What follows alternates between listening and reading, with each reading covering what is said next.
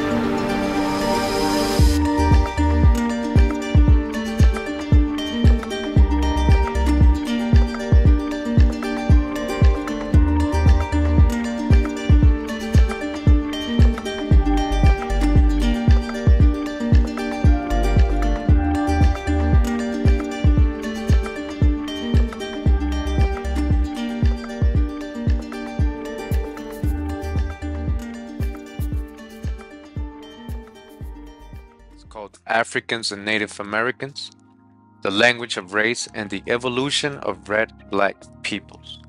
So he begins his book in chapter one. Uh, it's talking about Africans and Americans intercontinental contacts across the Atlantic to 1500. It is now well known that the Atlantic Ocean contains a series of powerful rivers or currents which can facilitate the movement of floating objects from the Americas to Europe and Africa as well as from the latter to the Americas. In the North Atlantic, the most prominent current is that of the Gulf Stream, which swings through the Caribbean and then moves in a northeasterly direction from Florida to the Grand Banks of Terra Nova or Newfoundland, turning then eastward towards the British Isles and the Bay of Biscay, that's in Europe. This current has carried debris from Jamaica and the Caribbean to the Hebrides and Orkneys of Scotland. All right, so it says that this current, again, you hear, is that it can carry debris from all the way, you know, in Jamaica, all the way to Europe. All right, without no paddles, without, you know, nobody taking it over there. Just by floating, it's getting to uh, Europe from Jamaica debris. All right. Moreover, Jean Marion tells us that valuable hardwood was commonly washed ashore along the coast of Ireland and Wales. This timber from ocean from the ocean borne by the Gulf Stream really came from the rivers of Mexico. Alright?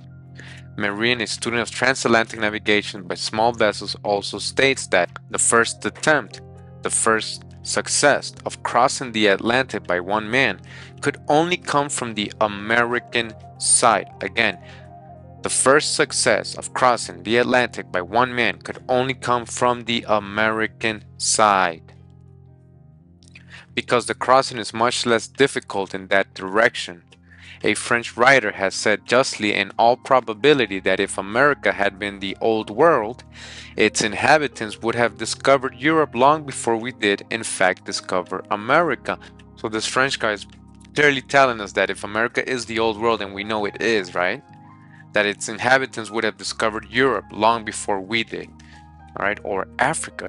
This is because of the prevailing winds from the west as well as the currents. One can, says Marion, sail in a straight line from Boston via Newfoundland to Ireland or Cornwall with almost the certainty of fair winds. The other direction requires twice the distance, twice the time, four times the sweat. So you're hearing this, right? So it's a lot harder to come from that side of the earth, you know, from uh, Europe, West Africa to America.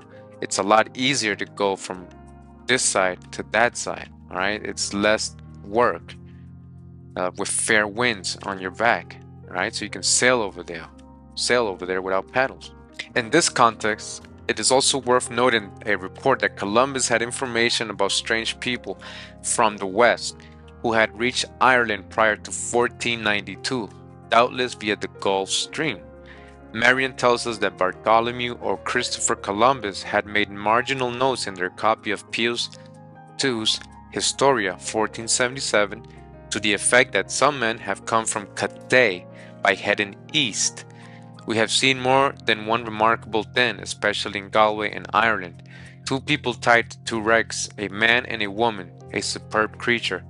Marion also believes that the first documented case of single navigator crossing the Atlantic consists in record of a Native American who reached the Iberian Peninsula long before Columbus' day. And here's the account it says In the Middle Ages, there arrived one day on the coast of Spain a man, red and strange, red, right? Copper colored, in a craft described as a hollowed tree or canoe, right? From the recorded description, which specifically states that he was not a Negro, he might well have been a native of America in a piragua, a dugout canoe. The unfortunate man, ill and enfeebled, died before he was had been taught to make himself understood. All right, so they couldn't get who he was supposedly. Bartholomew de las Casas, in his monumental Historia de las Indias, cites examples of rafts or canoes, almadias, dead Americans and their breeds reaching the Azore Islands before 1492. This evidence will be discussed below. Here it is only necessary to know that the Azores lay in an area weak of currents, but that even so, with the help of winds from the west and northwest, some boats could have reached the islands from the Americas.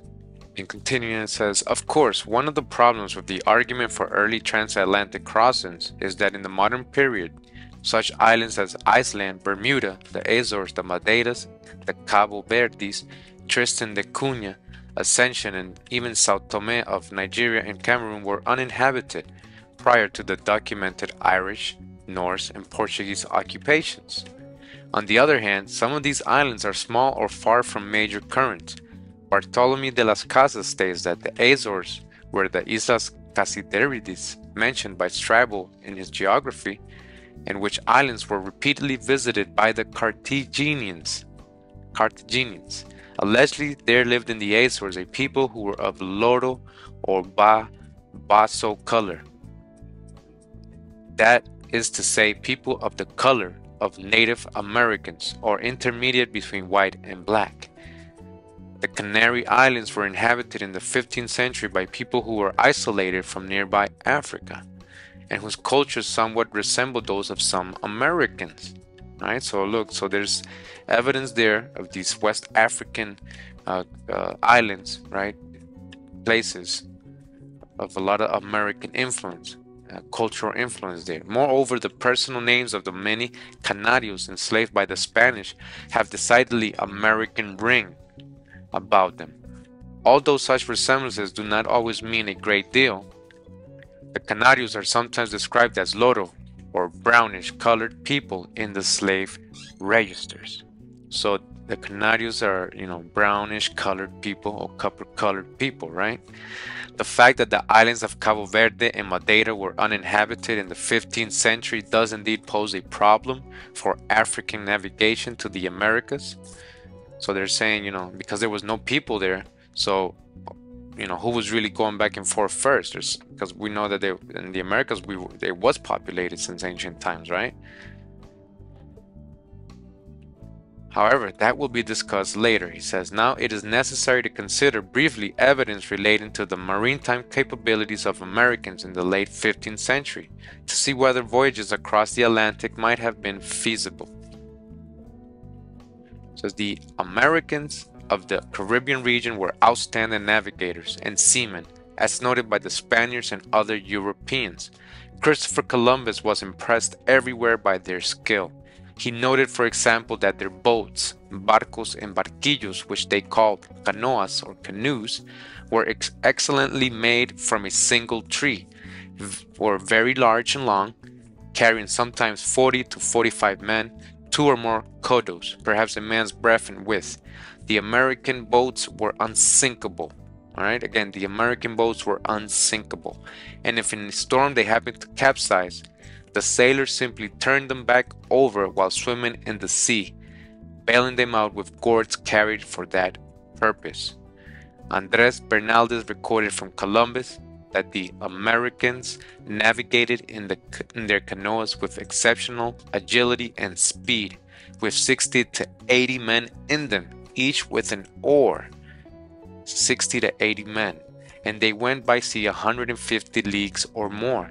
They were masters of the sea. A canoe was later discovered in Jamaica, which was 96 feet long, 8 feet broad, made from a single tree. That is huge. So we got this account of Columbus, you know, saying how you know the agility and the speed of the canoes they you know they can carry 80 men. They went they were masters of the sea. This is in columbus words masters of the sea. And they even found one in jamaica 96 feet long. That's long right? Columbus found that the lucayo people of the bahamas were not only very well acquainted with cuba one and a half days away with canoe but also knew that from cuba it was 10 days journey to the mainland doubtlessly, doubtless Mexico or South America, since Florida would have been closer than that. He also saw a boat which was 95 palms long, in which 150 persons could be contained and navigate. 150 persons? Come on, that's a ship. Yeah, right? Like these Spanish and Portuguese ships that contain those many people. This is basically a ship, right? 95 palms long, it says. 150 persons you can put 100 did they ever tell you in, in, in school that the indians made canoes that can fit 150 people that's a ship all right so i'm picturing like these phoenician type ships you know with this just paddles right how they draw the phoenician ships all right so because we're going to read that they even had sails over here others were seen which were of great workmanship and beauty being expertly carved a canoe was also seen being navigated successfully by one man in high winds and rough sea. At Haiti, Columbus learned that the island of Jamaica was 10 days' journey distant from the mainland and that the people there were closed, thus referring to Mexico or Yucatan most likely. In another place, he learned of a land a hundred leagues away where gold was mined. The Arawak and Carib speaking people of the Car Caribbean were well informed geographically. Columbus captured Caribs in the Antilles, such as Guadeloupe, from whom he learned of the South American mainland, but he also learned of the mainland from Americans living on St. Croix and Borinquen, Puerto Rico. Americans who were taken into Europe drew maps there which showed Haiti, Cuba, and the Bahamas, as well as many other islands and countries which were named in the native language. So the Indians taught Columbus and these Europeans about the rest of the islands. That's how they found them so easy. And continuing in this book, it says, even more significant for our purposes is the fact that when the Spaniards reached Yucatan in 1517, they saw 10 large canoes called piraguas, full of Indians from the town, approaching us with oars and sails. The canoes were large ones made like hollows, hollow throws, cleverly cut out from huge single logs, and many of them would hold 40 Indians. The fact that these boats were equipped with sails is indeed interesting because it means that wind power could be used to run against currents or to navigate rapidly even where currents were lacking. Clinton R. Edwards also cites other evidence documenting the, the use of sails by Carib and other American peoples in the Caribbean and Ecuadorian North Peruvian sailors in the Pacific, both at the time of initial Spanish contact. An example of the navigation capabilities of the Caribbean natives, we can cite the case in 1516 when 70 or 80 Spaniards in a caravel bergantine brig sailed from Santiago de Cuba to Waxala, Honduras, now Roatan. There they enslaved many Guanaxa people and carried them in the caravel to Havana, Cuba. All right, so they enslaved Indians, right? In 1516, the Waxana people, and carried them to Havana, right? So remember that. The Americans were subsequently able to overcome their Spanish guards, seizing the sail ships and y hiciéndose de la vela cual si fueran expertos navegantes volvieron a su patria. So it's saying uh, basically that they took over the ship, these Indians, right? These Guanaxa people from Honduras, right? It's probably most likely so-called Negroes, right? They took over the ship and they went back, right? And so we got accounts, and we saw part three that rebellious slaves, right? Negro slaves took over some ships and shipwrecked of the Mosquito Coast, right? And that was in Honduras as well. So we always got to make sure when they're talking about some Africans, you know, took over ship, were these really Africans? But you can see here clearly that Indians took over ships and even took them back to their land. It says they were able to sail from Havana to Honduras, a distance of more than 200 leagues in a European vessel with no assistance from any non-Americans, and this after having been kept below the decks during their journey to Havana. So they knew how to sail, basically, is what he's trying to say. The navigational capabilities of the Americans of the Caribbean Mexican coastal area extend back well into pre Columbian times, as attested to by pictures of boats found in various codices, murals, and sculptured walls in the Mexico Yucatan region. In about the 10th century AD, also the Mexican leader Quetzalcoatl is recorded as having sailed with a raft to the east, rising, rising sun from the Gulf Coast of central Mexico. Along the Atlantic coast of North America, Americans also went out to sea. On the South Carolina coast, for example, the Sewee outfitted boats with sails, and on one occasion, a group of natives decided to visit England. They outfitted a canoe with sails and went out into the Atlantic, but were picked up by British vessel and sold as slaves. All right, again, some Indians that were navigating they were heading to England, were captured on the open sea by British vessel and sold as slaves. So when they were coming back, they would most likely said they were African. That's what they told people, or that's what they teach you in history today. And I actually went to the footnote of this uh, book. And it's from a book called A New Voyage to Carolina, written in 1709 by John Lawson. So it's actually in there, that account. I a lot of these uh, I like to use. I'm using this book on purpose because he's referencing a lot of his sources are accurate. I went to verify them, so he has all this information in his book. So you know I'm reading off of his book, but these are actual verifiable sources he's using. To the south along the Brazilian coast, the Portuguese and other Europeans also witnessed American navigation at sea. An Italian traveling with Magellan in 1519 noted that the Brazilian boats were made from the trunk of a tree and were so large that each boat held 30 to 40 men. In the 1550s, Hans Staden noted that the dugout boats of the Santos Rio de Janeiro area could hold up to 30 men, were 4 feet in width, and with some being larger than and some smaller. And these they move rapidly with oars, navigating with them as far as they wish. When the, when the sea is rough, they take the canoes ashore until good weather comes again. They do not go more than two leagues straight out to the sea, but along the coast they navigate far. In 1565, the Jesuit Jose de Anchieta stated that the Americans of the same region had dozens or more canoes made from a single tree with other pieces of the same cutting used as boards, well attached with vines. They were large enough to carry 20 to 25 persons with their arms and supplies, and some held up to 30 persons. With these boats, they were able to cross such fierce bravas seas that it is a frightful thing and not to be imagined or believed without seeing. Anchieta also noted that if the canoes turned over, the navigators simply bailed out the boat, turned it right side up, and carried on. Thus, the Brazilian boats were also very well made, were very fast and maneuverable, and could be righted at sea if necessary. They were used to carry warriors and supplies over considerable distances along the coast, as far as, for example, from Santos San Vicente to Rio de Janeiro. In general, it would appear that the Americans of the Caribbean built the biggest boats and were most accustomed to going far out to sea, while the Atlantic coastal groups were more oriented to staying within a certain distance of land, six miles or so. On the other hand, all were capable of being carried out to sea by strong winds and currents and yet survive in rough water. It should also be noted that several groups along the Pacific coast manufactured seaworthy craft and were capable of reaching Polynesia by means of favorable currents.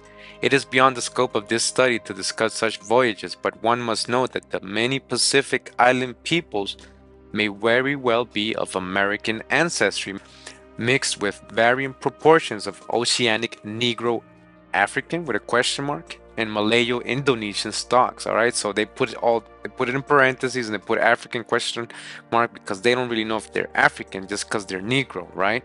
So as you can see, Americans were very capable of crossing the sea, going out to the open ocean.